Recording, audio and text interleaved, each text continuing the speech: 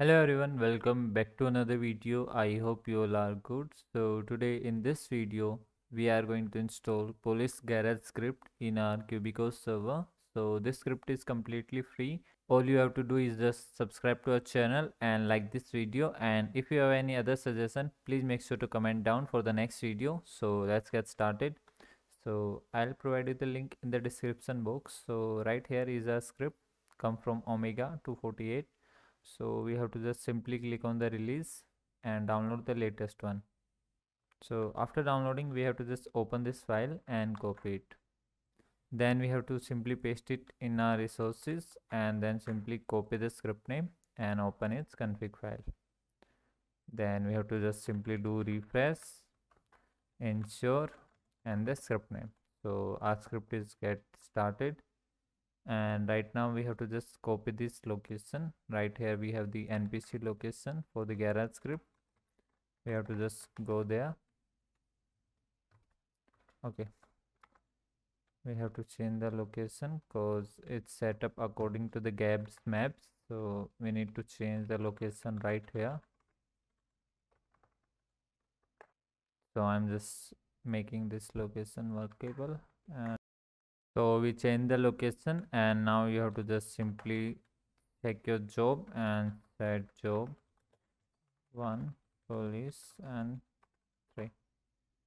So as you can see right here we got our uh, npc so let's make this perfect to do this. We have to simply do minus one and that's it and after changing the npc location we also change its target locations so for this we have to open its client target lua file. And right here as you can see we have this vector file. So we have to simply come right here slash vector 3 and just replace this vector location right here. After doing this we have to simply restart again. And now as you can see we got this target uh, location. So we have to just simply open and right here we have all of its vehicles so we can use it. So we have to come back to the config file and right here we have its spawn locations so let me just delete all of it and just create one right here vector 4 then we have to simply change this location also so these are the as you can see the vehicles. So first we have to change the model. Police cpv police 2 so that's it for now. So you can configure all the department uh, vehicle models right here as you can see. So you have to just replace the model number. And that's it. So after this you have to simply restart the script again. And when you use this now you will get all of these vehicles as you can see right now. So as you can see we got this vehicle. So according to this you have to simply add your vehicle model like the add-on vehicles or the default vehicles. You have to simply just change all of its name. So as you can see and we can store it as well. We have to come back right here and just store vehicle so it's quite simple and easy to use. So you can easily create as many as locations for the vehicles you want to use according to your MLO as well.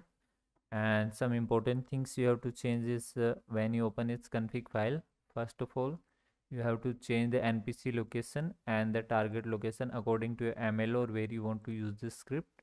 Second you have to change the fuel system. So by default it is using legacy fuel. So you have to replace it with your uh, like whatever fuel script you are using most of us are using cdn fuel so you have to just select cdn fuel right here. And then right here we have the spawn location of the vehicles. So third thing we have to change this also according to our server mlo and fourth and the last is we have to rename and replace the vehicle models with our vehicles we just added in our server. So that's it you have to do with the script so i hope you like this script and if you like this script please make sure to subscribe to our channel and like this video. Till then we will meet you in the next video. Take care. Have a good day. Love you all